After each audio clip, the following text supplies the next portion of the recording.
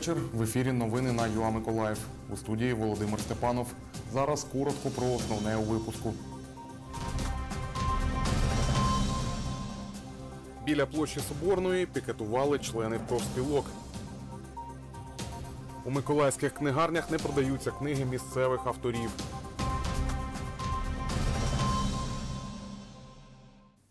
Захистимо наші права, ні генеруванню зубожіння. З такими транспарантами у центрі Миколаєва близько 60 людей з профспілок вийшли на інформаційний пікет проти законопроєкту про працю, який 27 грудня уряд вніс на розгляд Верховної Ради. Людмила Хомин працює вихователькою у Миколаївській санаторній школі-інтернаті номер 4 Розповідає, на пікет прийшла, бо боїться втратити роботу. Нас особисто, е, як представників школи інтернату, не е, влаштовує те, що хочуть е, закрити школи-інтернати. Вони хочуть позбавити хворих дітей на освіту, на належну освіту, тому що в інших школах, як вели зараз інклюзію, там зовсім немає таких належних умов для того, щоб виховувати і давати освіту таким дітям. Нас просто скоротять, ми будемо без роботи. Ось тому ми сьогодні, і ще одна причина, чому ми сюди прийшли, е, тому що всіх скоротять, і е, а якщо не буде профспілки, не буде кому за нас боротися. 46-річний Михайло Дідунік 20 років працює у приватному акціонерному товаристві Лакталіс Миколаїв. Чоловік каже, законопроєкт про працю антинародний, тому відкидає нашу країну у минуле. Ці е, законопроекти е, антинародні, тому що вони е, е, відштовхують народ е, у середньовіччя, коли е, роботодавці будуть панами, а простий е, роб- роб- робочий люд буде просто рабами. Також серед пікетувальників 70-річна Любов Назарова. Працює у обласному комітеті профспілки працівників культури. Жінка говорить, питання трудового кодексу дуже важливе, тому влада повинна поцікавитись думкою людей. Нашій Україні бажаю пережити цей от момент, коли сьогодні такий законом про працю. І я вважаю, що ці закони треба виносити на е, громадське таке обговорення і обов'язково знати думку людей, які проживають в Україні. Для того, щоб вони були удосконалими і для того, щоб вони виконувалися в повному обсязі. Голова Верховної Ради України Дмитро Разумков говорить, влада до діалогу з людьми готова. Я знаю, що там були проблеми з комітетом. У мене була розмова з головою комітету. Я думаю, що е, форма співпраці буде більш тісною. Намагаємось враховувати і думку експертного середовища, і профспілок е, щодо цього закону. Якщо ми говоримо про інші закони, так само ми намагаємось е, е, втримувати баланс для того, щоб після цього ці законопроекти, коли стануть законами, вони ефективно працювали на користь і громад, і держави. Любов Назарова говорить, 30 січня о 12 годині на площі Соборній відбудеться загальнообласний мітинг представників профспілок. Книги миколаївських авторів, видані за підтримки місцевого книговидавництва, можна почитати у бібліотеках або придбати на презентаціях. Чому місцевих літераторів немає на полицях книжкових магазинів, дізнавалася Ніна Булах. У 2017 році вийшла перша поетична збірка Олега Дороша «Сьогодні і завжди». Чоловік каже, молодий автор постає перед проблемою, як її розповсюджувати через інтернет, друзів, знайомих. По-перше, немає програми підтримки книговидавництва як такої, саме міської. Є обласна підтримка е, книг, е, Миколаївська книга називається, але вона така, ну як на мою думку, надто ну, обмежена в своїй, е, тобто в своїй можливості якось і презентувати читачам миколаївським. Тобто, а такої масштабної програми, яка би миколаївських авторів підтримувала і друкувала, ну за ну, допомагала друкувати, видавати свої книжки, е, такої немає. То це перша причина. Друга причина те, що в Миколаєві відсутня е, система книгорозповсюдження. Ну це не тільки в Миколаєві, це по суті така всеукраїнська проблема. Миколаївський письменник Валерій Гузенко книгу «Рицарі правопорядка» надрукував у місцевому видавництві «Іліон», а охотник на шакалов у харківському видавництві «Діса Плюс». Там дешевле за счет того, что Харьков Там дешевше за рахунок того, що Харків він традиційно таке місто, де з видавництвами працюють дуже багато і російських авторів. І ось за рахунок цього вони і виживають. Видавництва у нас прекрасні. Це Ірини Гудим, і Ліон. Я навіть не можу собі уявити, як вони виживають. Але вони всіляко намагаються авторів підтримувати. Намагаються формувати такі ціни на послуги, щоб ну я не знаю. Вони, мабуть, працюють не те, що в збиток, а по нулях. І на жаль, держава на це не звертає увагу. Валерій Гузенко звертався до миколаївських книгарень щодо розповсюдження книг, але йому відмовляли.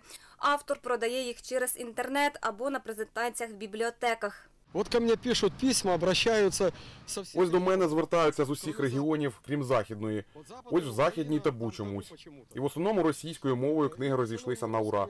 Ось так через інтернет виходять на мене, запитують, і я їм висилаю через нову пошту. Ірина Гудим, директорка видавництва Ірини Гудим, говорить, на сьогоднішній день фактично зупинилась система розповсюдження книг. Книгарні, які були в комунальній власності, закрилися. Потребность в этом є, необхідність є. У нас є Потреба у нас є. У нас є дуже цікаві проєкти, які потрібно було б показувати. Всього лише потрібно виділити невеликі кошти, звільнити книгарні від сплати землі. Це бачення Миколаївського депутатського корпусу, дати їм преференції на комунальні послуги і дати їм можливість виживати. Ірина Гудим розповідає, раніше книги миколаївських авторів приймав книжковий магазин Кобзар, але через ремонтні роботи заклад повернув видавництву понад 100 книг. Я их выставила в Фейсбуке. Я їх виставила у Фейсбуці. Частина з них вже продана. Частина у мене лежить до наступного мого виходу, десь у бібліотеку, громадське місце, де я зможу викласти свої книги, показати їх людям. На день міста ми виходимо, продаємо, бо люди бачать книги і вони їх купують. Книжковий магазин Кобзар бере на реалізацію книги миколаївських авторів. Тут є книги Дмитра Креміня, Валерія Зотова, Анатолія Малярова тощо. Володимир Дідан, директор магазину, не на камеру розповідає. Через ремонт частину книг віддали видавцю. По його завершенні знов братиме миколаївські видання на реалізацію. У магазині книжковий клуб є книга миколаївської авторки Лії Щіглової.